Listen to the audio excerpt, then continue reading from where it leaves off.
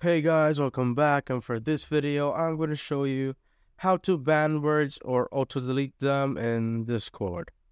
So first go go to server settings here. Once you're there, go to app directory under apps. Search for Dyno here. Click on that and you could go click on add the server here and a browser will open and go click on the server that you want to add this bot to Click on continue. These are the permissions. Click on authorize. And go with verify here. Once you're done with that, as you can see, I've added the bot and you'll be redirected here. And now you go to modules. So as you can see, here's the auto purge. Uh, there are many things that you could add.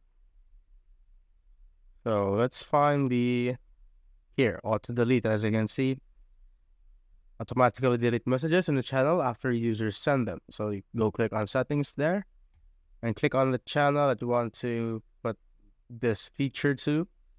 You go here on general and go click on add filter and you could select the filter like links, not links, not images, images. So we'll, we'll go with exact text. So let's try text right there. And personally, I'd like to add or pick this one, match any filter. And you can just go on and on. You can add multiple filters to auto delete that.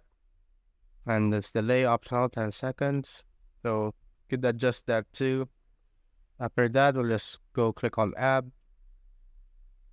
As you can see, added auto delete general. And here you can see that it has been added you can go back to Discord.